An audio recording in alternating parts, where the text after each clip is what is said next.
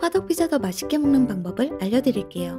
피자 자를 때 보통 전용 커팅기를 사용하는 게 일반적인데요. 이렇게 자르면 가볍고 푹신한 식감의 dough가 커터에 짓눌리면서 엣지의 볼륨감이 떨어지기 때문에 화덕 피자엔 어울리지 않는 커팅법이 되겠습니다. 촉촉하고 맛있는 빵을 눌린 채로 먹을 순 없잖아요. 그래서 이럴 땐 가위를 사용해보세요. 커터보다 쉽게 피자를 자를 수 있으면서 푹신한 도우의 볼륨감을 그대로 유지할 수 있기 때문이에요. 여기서 포인트는 엣지의 바닥이 아닌 윗부분을 먼저 자른 다음 바닥을 잘라주는 건데요.